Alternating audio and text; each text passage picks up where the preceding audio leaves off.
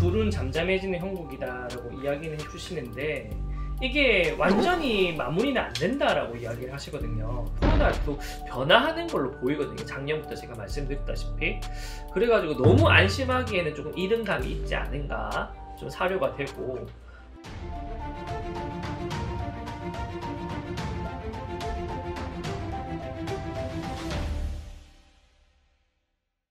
안녕하세요. 한해TV의 의정부 한해 도령입니다. 반갑습니다. 네, 도령님. 네. 구군 관련된 영상을 음. 찍어볼까 하는데요. 네. 우리 백신이 네. 이제 개발이 돼서 지금 맞고 있잖아요. 네. 이제 이 백신의 네. 부작용 때문에 네. 안 맞으려고 하시는 분들도 계시고 음. 좀 그렇더라고요. 네.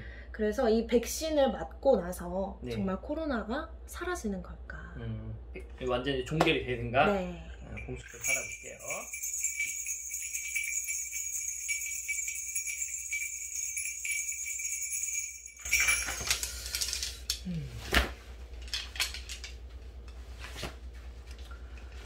자 일단은 지금 이제 큰 불은 잠잠해지는 형국이다라고 이야기는 해주시는데 이게 완전히 마무리는 안 된다라고 이야기를 하시거든요.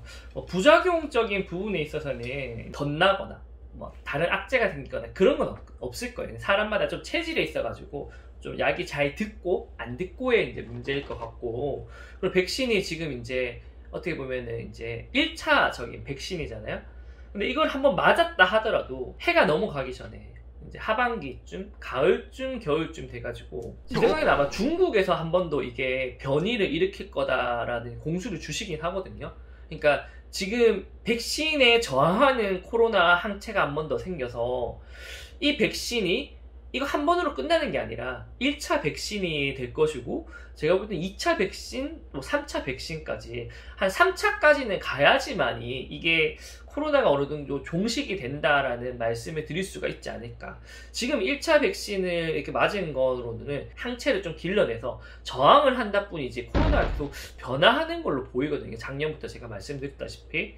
그래가지고 너무 안심하기에는 조금 이른 감이 있지 않은가 좀 사료가 되고 뭐 그거야 뭐 이제 나라 입장에서 정부 입장에서 계속 그런 것들을 계속 연구 개발하고 어 그런 것들을 이제 준비를 해야 되는 상황이긴 한데 제가 느끼기에는 이게 1차 백신이 이제 우리나라 국민들이 다 맞았다고 해서 좀 안심하면은 어 이게 2차 백신을 개발하는데 또 늦춰져서 또 경제에 타격이 있지 않을까 좀 걱정스러운 부분이 있거든요.